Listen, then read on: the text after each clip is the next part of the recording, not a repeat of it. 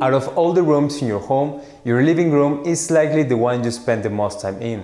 That's why it's so important to keep it clean and free of mold. Moisture intrusion is the root of most mold problems and they compromise your home's structural safety. Preventing long-term damage to your health and your home means that you have to address the issue as soon as possible. Over the years, we have inspected thousands of living rooms and we collected the following data. The toxic mold types found in living rooms ordered by Presence are Penicillium and Aspergillus group, Chaetomium, Stachybotrys and Alternaria. Only 8% of tested living rooms didn't have any presence of mold. To know the other common mold types found in living rooms, check our mold statistics page. Long-term mold exposure can create severe health problems, that's why you should make sure there is no mold hiding from plain sight. You can start by checking your carpet, drywall and wallpaper, in the air conditioner, around windows and doors, on plants and furniture. And if you happen to find any sign of mold, call Moldbusters and we will take care of it.